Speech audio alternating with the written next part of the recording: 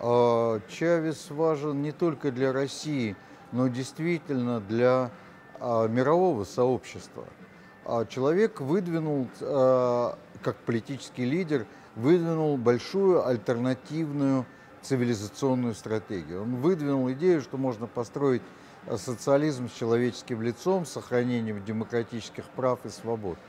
А его эти идеи были широко поддержаны в Латинской Америке. Я бывал на Кубе на большой конференции памяти Хосе Марти и слышал, как делегаты огромного количества самых разных стран, в том числе там Франции, Великобритании, а, желали ему выздоровления. И действительно, Чавес один из крупных революционеров 20 века. Ему а, счастье, вот Фидель жив, но по масштабу личности таких людей очень мало. Это вот может быть Ганди, Фидель, Чавес. Поэтому с моей точки зрения людей, которые меняли картину мира, их именем стоит называть.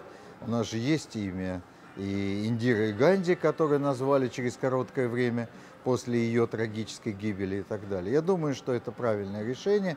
А люди, которые меняют картину мира, их имена достойны того, чтобы быть запечатленными на улицах Москвы. Ну, какой-нибудь третий тупик, э, я думаю, что менее важен для москвичей, чем имя Чавеса.